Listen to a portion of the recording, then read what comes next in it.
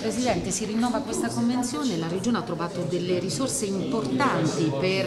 arrivare a quella che è un'opportunità per i ragazzi ma anche per il territorio e le sue istituzioni. Sì, è importante, segno della volontà di collaborazione istituzionale anche grazie alla programmazione europea che ci mette a disposizione queste risorse che noi eh, metteremo a disposizione di altre istituzioni con, eh, per la formazione di tirocini che sono fondamentali, utili e anche a riprova di una volontà appunto di collaborazione di una filiera istituzionale che eh, credo possa essere definita virtuosa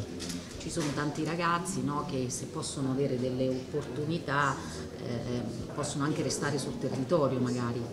Sicuramente lo spirito è proprio quello di riuscire per il tramite di questi tirocini di dare nuove opportunità formative soprattutto all'interno di circuiti molto importanti per il funzionamento dello Stato, quindi è un'opportunità eh, di crescita credo non solo dei tirocinanti ma una crescita collettiva cattiva.